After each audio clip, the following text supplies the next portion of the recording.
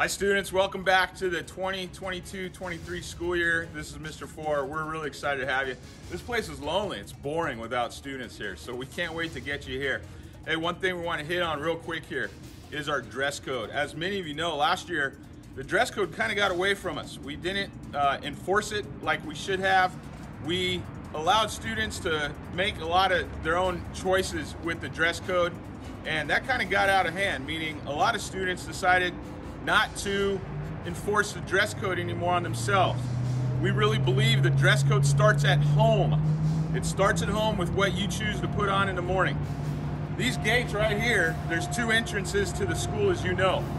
Any students not in dress code will not be able to come onto campus until 8 a.m. when our administrative team gets out here to the gate. So when you show up early in the morning, if you're not in dress code, you're not gonna be coming on campus.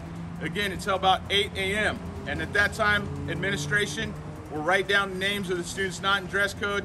Your parents will be contacted, and then you'll start to get some detentions and that sort of thing if you're not in dress code. So real important, you make the right decisions at home. The biggest thing is you gotta have a collared shirt on every single day.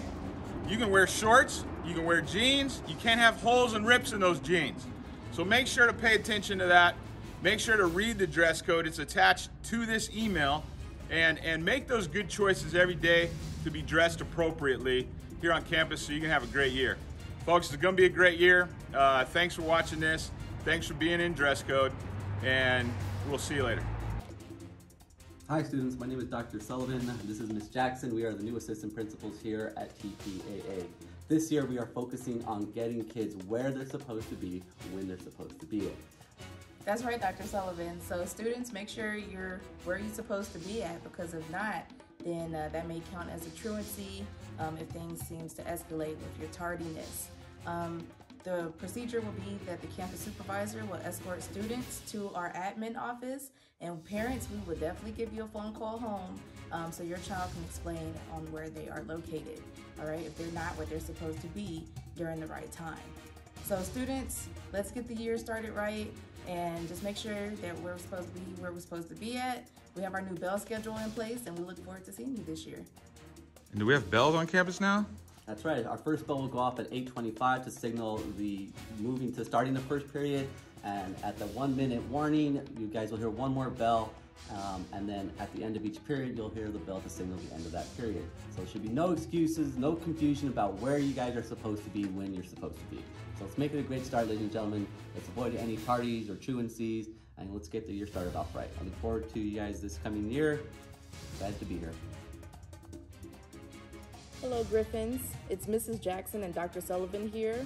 Um, today we want to talk about safety. Safety is our number one priority as your administrators. We believe that every child here has the right to remain safe. To ensure that safety, we offer the bullying harassment form available at our school website, the tpaa.org. The form is available in person as well, in the admin office and in our front office. Now, these forms can be filled out anonymously, so students don't feel pressured into having to put your name. Uh, once these forms are filled out, our admin office gets it, and we do our due diligence to investigate each claim um, to the fullest extent to ensure the safety and well-being of our Griffins. Um, we're excited to be here to support you guys in every in every which way, but safety, of course, is our number one priority. So, thank you, ladies and gentlemen. We look forward to having you guys this year.